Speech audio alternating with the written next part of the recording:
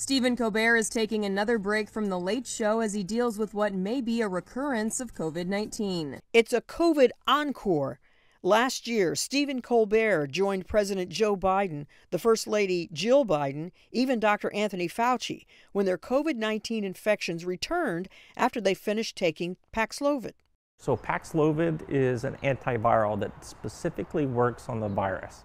In clinical trials, Paxlovid was nearly 90% effective at preventing hospitalizations and deaths in high risk patients.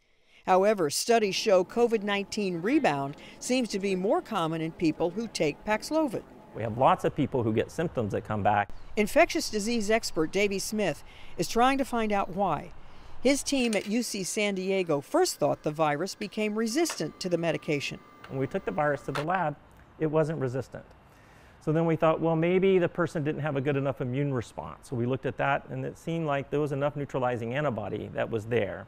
So then we were left with maybe we just didn't treat the person long enough. Researchers are finding that the rebound of COVID 19 symptoms after Paxlovid is likely due to insufficient drug exposure and that not enough of the drug was getting to infected cells.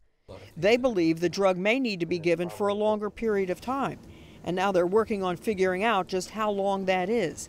But until then, Dr. Smith says the prescribed five days of Paxlovid is still a person's best defense against suffering severe, life threatening symptoms. So don't be scared of Paxlovid rebound. If you need the medication, take the medication.